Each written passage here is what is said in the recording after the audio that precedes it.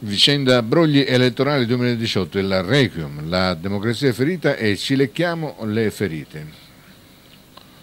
Sulle scorse amministrative del 2013 c'è l'ombra di un presunto caso di firme false. Ora anche le amministrative del 2018 vengono poste sotto la lente di ingrandimento dalla Procura, a cui il TAR di Catania ha inviato la sentenza che ha annullato la proclamazione del sindaco e del Consiglio Comunale.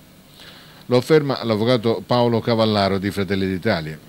La nostra democrazia è un serio pericolo, i cittadini non possono essere certi nemmeno che il loro voto giunga a destinazione. È chiaro che occorra una rapida rivisitazione della legge elettorale, del sistema degli scrutini e pressione dei meccanismi giudiziari che consentono il controllo delle operazioni elettorali, se è vero come lo è che è passato un anno e mezzo per conoscere l'esito del ricorso del candidato reale.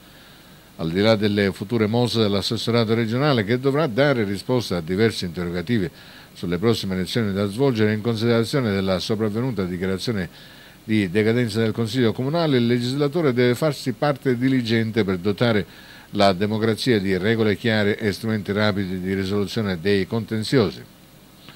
Prima di riaprire l'agone elettorale, la classe dirigente di ogni partito si soffermi a riflettere su questi temi che devono essere prioritari e condivisi trasversalmente. Per il momento intoniamo il requiem, la democrazia è ferita e ci occhiamo le ferite, conclude Cavallaro.